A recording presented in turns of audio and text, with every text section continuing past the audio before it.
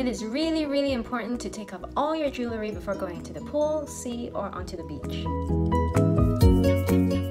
Many pools have chlorine and it can damage your jewelry. There will be chemical reaction with the alloys of your jewelry. This could cause discoloration. Too much exposure to chlorine, this, this also includes uh, cleaning products, can cause the jewelry to become brittle to the extent that it could actually dissolve. Although the chlorine in the swimming pool is less concentrated, it could still cause damage over time. Pure platinum jewelry will less likely have um, uh, less likely to have chemical reaction to chlorine, but with lower quality uh, platinum jewelry, it will get black if it's exposed to chlorine. Same goes to sterling silver. It will turn black in chlorine water and it's difficult to restore. Salt water could also ruin your jewelry. It could leave pigments on your jewelry or erode it. In conclusion, take off all your jewelry before getting into the water or to the beach because this will avoid losing them, damaging them, and also sand are really rough. It could scratch your jewelry very, very easily. Please like and subscribe and see you next week.